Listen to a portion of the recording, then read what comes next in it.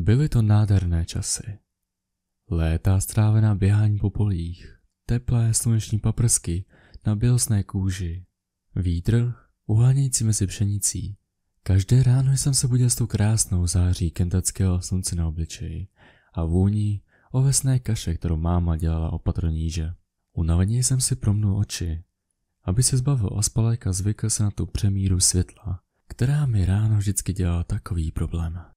Ani jsem se neobtěžoval převléct se z pyžama a tiše jsem po schodech sešel dolů do kuchyně. Všichni už byli vzhůru. Máma seděla u stolu a nandovala sestra malému bráškovi lívance, zatímco táta četl noviny. Byl to učebnicový farmář. Měl na sobě ušpeněné monterky, na nohou holínky a v levé ruce mu doosíná cigareta. Máma nenáviděla kouření a vždycky ho prosila, ať alespoň kouří venku, aby nepáchly koberce a záclony po kouři.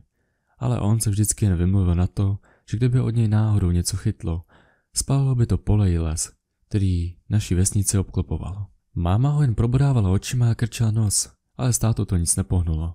Ani kdyby se na hlavu postavila. Když mě uviděla, jen se sladce usmála a uvolnila mi židli vedle sebe.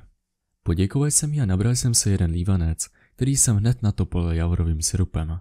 Táta složil noviny a podíval se mi do očí. Moc se nepřejdej, čeká nás západní část pole.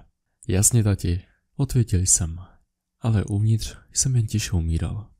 Nenáviděl jsem to. Nenáviděl jsem práce na poli. Když jsem byl menší, mohl jsem se každý den na tom pole hrát s kamarády a nemusel jsem se o nic starat.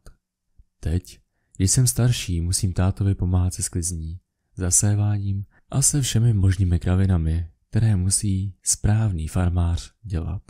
Nechtěl jsem být farmář jako táta.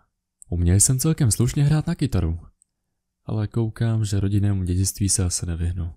Budu stejně jako táta vstávat každé ráno v pět hodin a končit osm večer. Budu smrdět po hnoji, oblečení budu mít od hlavy po ramena spálené od neúprosného slunce.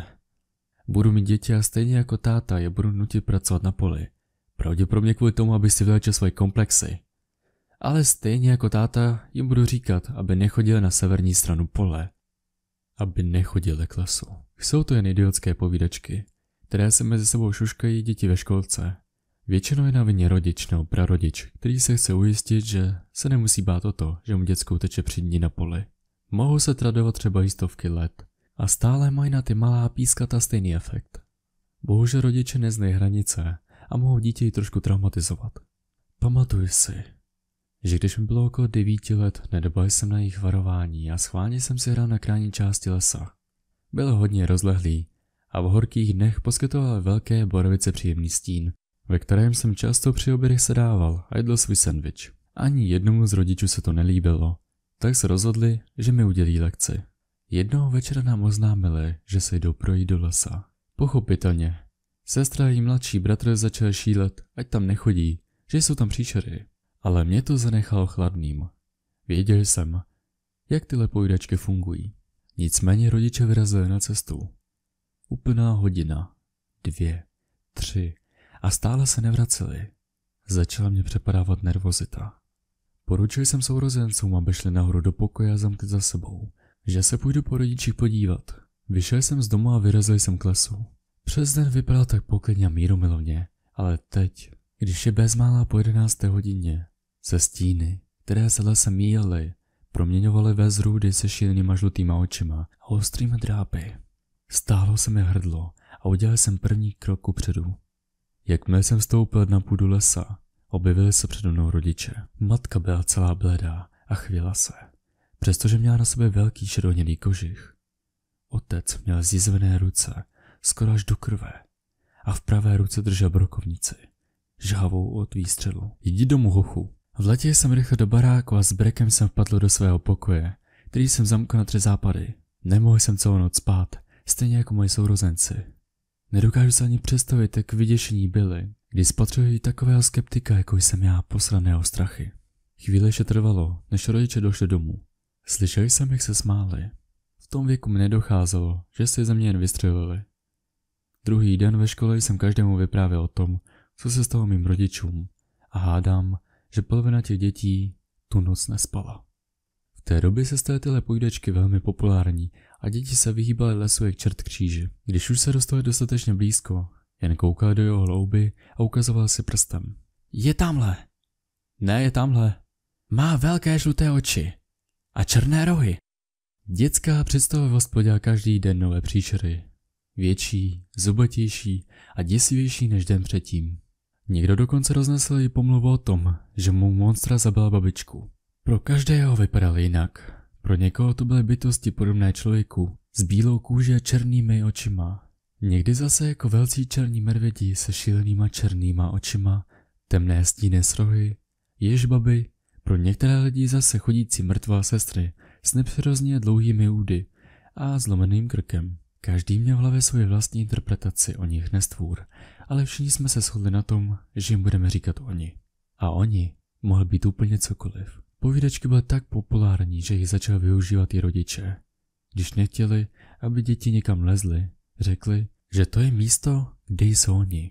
Naši rodiče to zneužili také, tentokrát kvůli naší stodole. Nevím, co tak strašně důležitého tam rodiče schromažďovali, ale brali to smrtelně vážně. Stodola byla každý den zavřená, okna zabarikádovaná a táta tam chodil jen v noci, když jsme spali.